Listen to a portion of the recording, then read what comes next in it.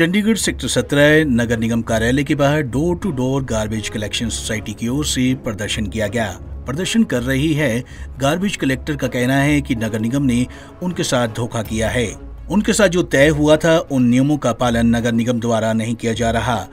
इसका वे विरोध करते हैं। उनका कहना था कि सेक्टर इक्कीस रेडी फड़ी वालों द्वारा लोगों के घरों से कूड़ा उठाया जाता है, जिसमें 26 व्यक्ति काम करते थे। लेकिन आज वहाँ सिर्फ़ बारह ही काम कर रहे हैं। और उनकी जितनी कलेक्शन होती है, उस कलेक्शन के हिसाब से उन्हें पैसे नहीं दिए जा रहे। जबकि एम हुआ था कि जब भी जो कलेक्शन होगा, वह door to door garbage collector को दिया जाएगा। इसको लेकर नगर निगम कमिश्नर को ज्ञापन सौंप चुके हैं।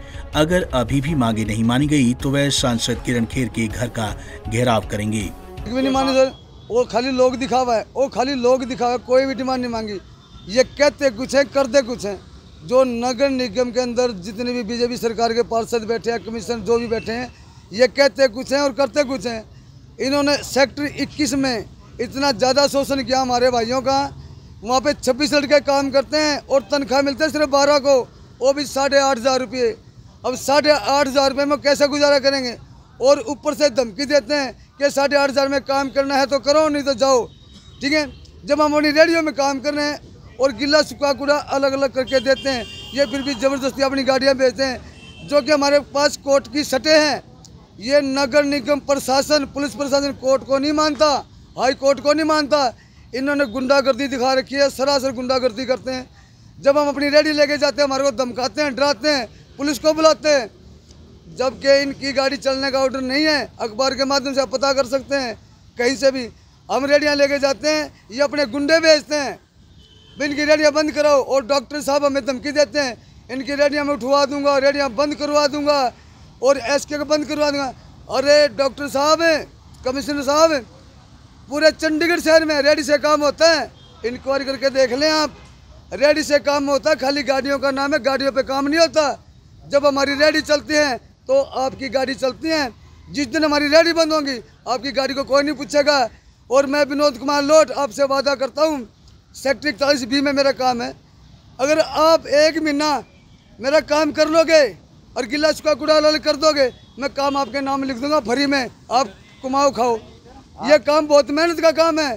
तीन तीन चार चार मंजिल में चढ़ना पड़ता है उतरना पड़ता है। आपके आधे लोग तो काम कर रहे हैं। वो कुछ कुछ समाज के गर्दार हैं और कुछ लोग हैं जिनके सही ढंग से तनख्वाह मिल रही है। कुछ लोगों को सही ढंग से तनख्वाह मिल रही है वो काम कर रहे हैं। और कुछ लोग ऐसे हैं कि उनको बिकाच का रखा है। लेकिन हमारे साथ सरासर शोषण हो रहा है। हज़ार कमाता है चाहे पचास हज़ार कमाता है। उनकी सैलरी कट के नहीं आएगी और दो हज़ार सतारह का ये रेट हमें दे रहे हैं। दो हज़ार सतारह का रेट इन्होंने निकाला था। अब दो हज़ार इक्कीस है, सर।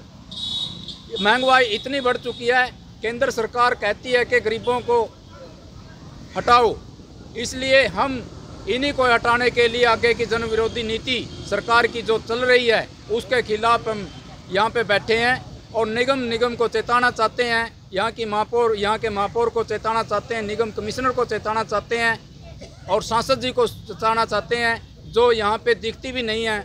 अगर हमारी मांगों को सिर पूरा नहीं किया गया तो आने वाले दिनों में ये आंदोलन और तेज होगा और समस्त वाल्मीकि समाज बीजेपी का पूरा विरोध करेगा, क्योंकि बीजेपी की सरकार केंद्र में है सर। हम लोग रोडों पे उतरेंगे, भीख मांगनी पड़ी तो भीख मांगेंगे, अगर ज़रूरत पड़ी तो कारपोरेशन के आगे कूड़ा फेंकेंगे, ज़रूरत पड़ी तो यहाँ की सांसद का बहिष्कार करके उसकी कोठी का घेराव करेंगे, फिर भी नहीं माने तो हम प्रशासक महोदय से जाके गुहार लगाएँगे और वहाँ का घेराव करेंगे। बहरहाल, अब देखना ये होगा कि प्रशासन कब तक इनकी मांगे मानता है।